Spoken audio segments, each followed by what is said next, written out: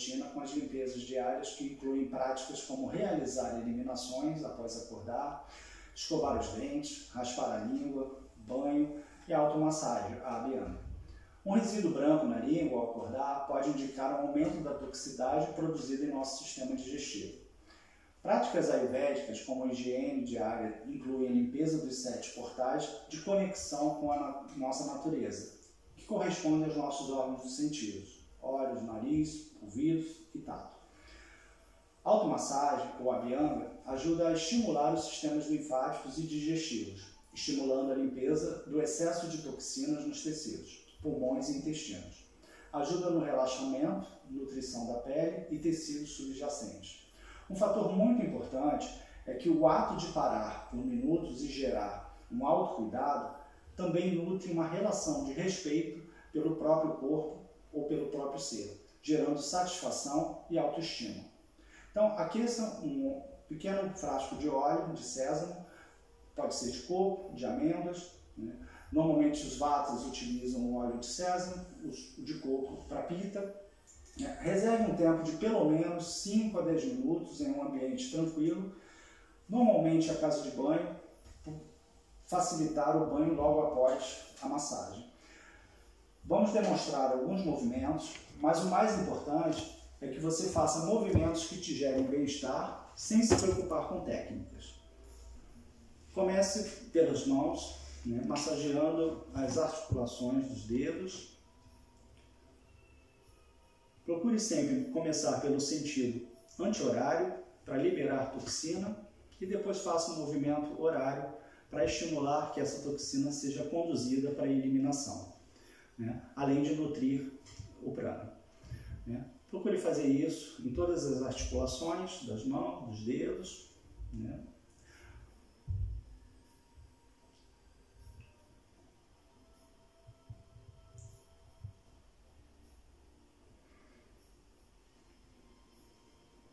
Faça uma massagem suave na palma da mão.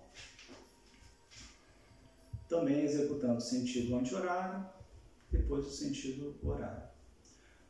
Vá para a articulação do pulso. Também sentido anti-horário, sentido horário.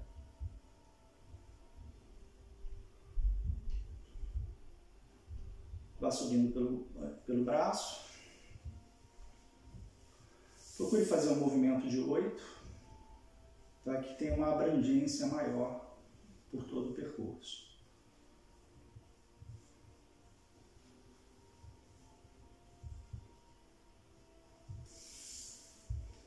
Faça o mesmo movimento na articulação do cotovelo.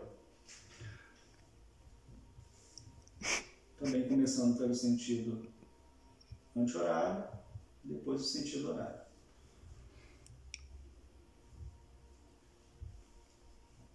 Novamente faça o movimento pela continuação do braço. Suba até os ombros, fazendo o movimento anti-horário, depois horário. E aí, faça o movimento subindo ali para o pescoço. Aproveite para relaxar toda essa área de tensão, que é uma área que o estresse do dia a dia geralmente gera muita tensão. Então, faça movimentos estendidos, indo tanto do pescoço até a ponta dos dedos.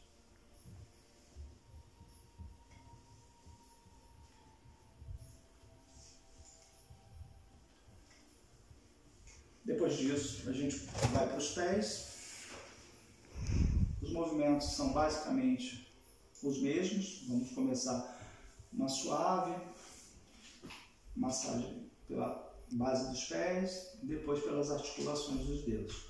Começando também pelo sentido anti-horário, para liberar a toxina, sentido horário, para estimular a limpeza dessas toxinas. Vá fazendo em todas as articulações dos dedos.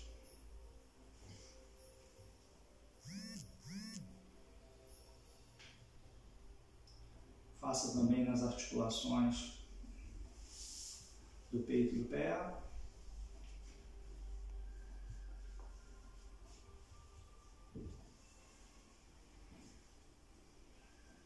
Suba até o tornozelo, faça deslizamentos pelo pé. O importante é que em todas as articulações você concentre os movimentos circulares.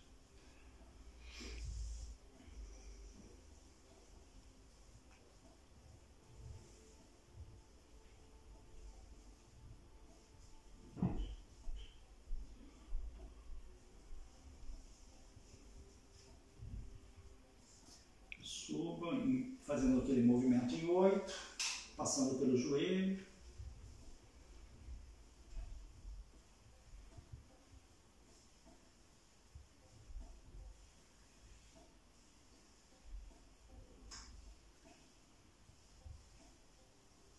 Estimule o movimento circular na articulação do joelho, também fazendo com o movimento anti-horário e o movimento horário. Depois disso, vá subindo em direção ao quadril, mantendo o movimento deslizante em toda a coxa e um movimento circular na região de conexão do fêmur com a bacia.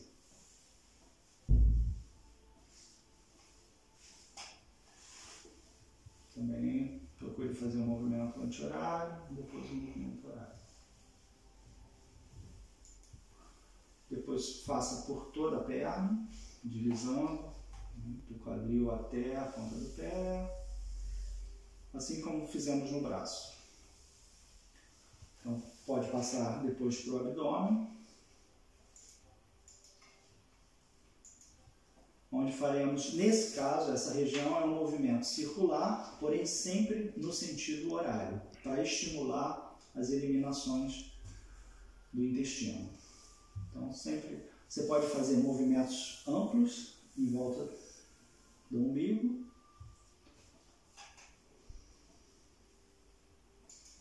E também pode fazer pequenos movimentos circulares, sempre no sentido horário.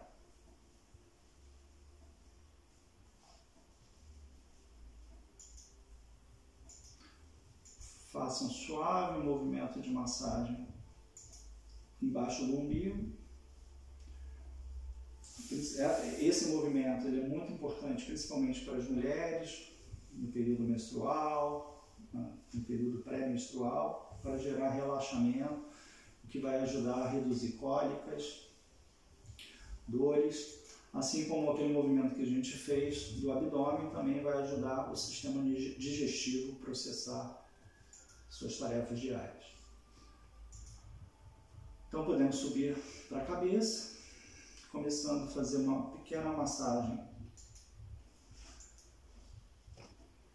No queixo, subindo pelo rosto, descendo até a ponta do queixo.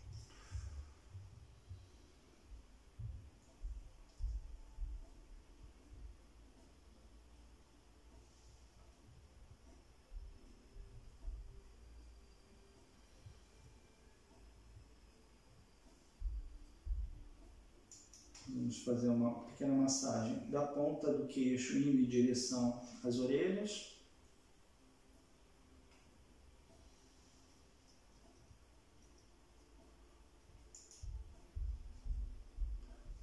Podemos aproveitar para fazer uma leve pressão em alguns pontos mármores importantes, no canto da boca.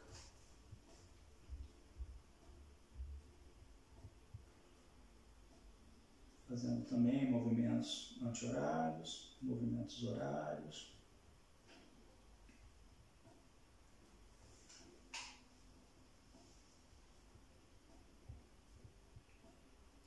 Podemos também ir para o outro ponto marma, que é na base da narina.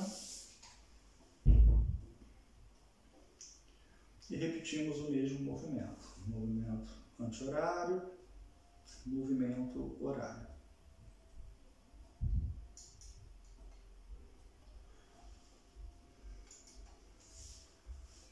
Dali podemos ir subindo mais um pouco, vamos no terceiro olho. Corresponde à nossa glândula pineal. que é responsável por várias funções que nos estimulam o relaxamento. Então esse tipo de massagem é muito importante para dores de cabeça, estresse, insônia. Né? Então podemos fazer um movimento suave de subida das mãos pela testa, levando até o couro cabeludo.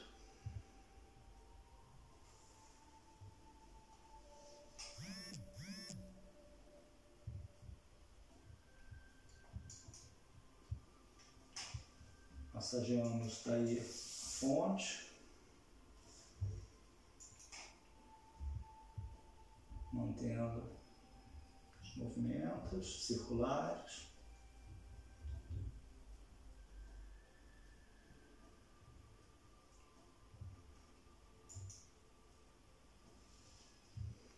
Fazemos uma massagem na base do crânio, subindo ali até a parte traseira das orelhas.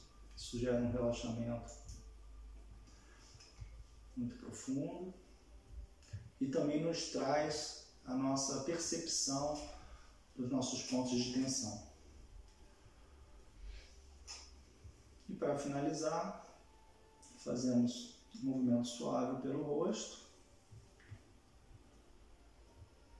Vamos medir um palmo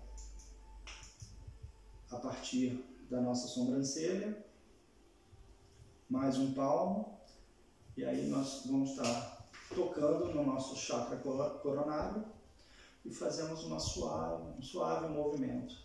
Bom, também pode ser um movimento anti-horário, um movimento horário.